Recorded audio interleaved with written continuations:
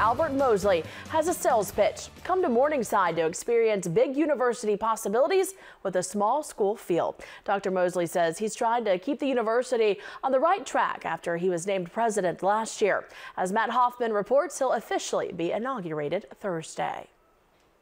Dr. Mosley is excited about the new programs at the university, like women's wrestling and an aviation program. Mosley says he's trying to keep the school pointed in the right direction and make sure the students are ready to fill the needs of the business community. Uh, Morningside's advantage is um, uh, just sort of our history of innovation mm-hmm. and our willingness to engage with the market, to hear what market needs and demands are. He also says the cafeteria is his favorite place because it's where people will gather just like they will on Thursday. Place. And so when you have this celebration, it really is sort of a culmination of, of lots and lots of conversations with people. Mm-hmm. And so it, it makes it more meaningful in that yeah. way. President Mosley says a lot of his job is thinking, or as he calls it, forecasting about the future. But a few years ago, he said the future meant 10 years. Now it's down to five years, and sometimes even focusing just on the next year or two.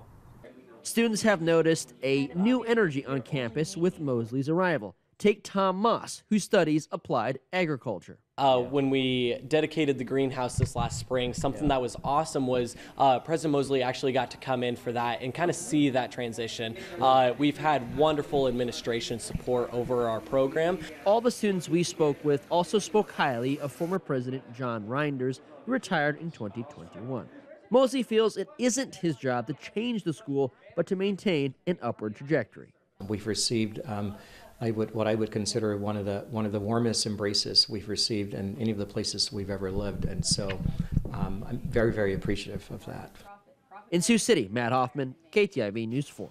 Mosley will officially be inaugurated inside the Eppley Auditorium 10 a.m. Thursday. Freshman education major Andy McCarskey says he's experienced Mosley's leadership at the university. He's one of 1,200 undergraduate students, uh, school leaders say, on top of an additional 1,300 grad students.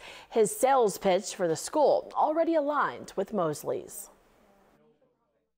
Um, but my thing when I came here was I wanted a sense of community yeah. and that welcoming feeling once again. Yeah. And the minute I did my tour, I got that feeling and I knew that this was going to be the place for me. Here's one more look at events happening this week. On top of the official inauguration, the Palmer Research Symposium is Wednesday. It starts at 8 a.m. will last until 4 in the afternoon. Wednesday also includes a lecture from TV anchor Robin Roberts that begins at 5.30 p.m. The inauguration will start at 10 a.m. Thursday. All events are open to the public. A Sioux City school wants to expand its building